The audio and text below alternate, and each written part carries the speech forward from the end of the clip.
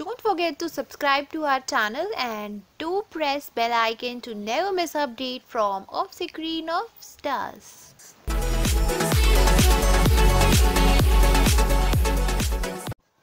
One of the best television couples, Sanaya Irani and Barun Sobti's comeback on TV is much awaited by the fans.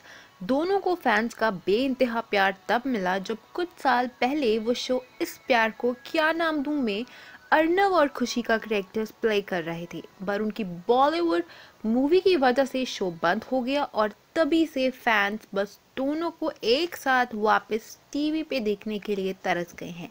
In a previous reports we already told you that producer Ekta Khan will be launching Sanaya Irani and Varun Sobti in upcoming TV show and now we hear the buzz that show will be based on a Muslim story and and that Sanaya Irani and Barun Sopti has already started shooting for the promos of the show.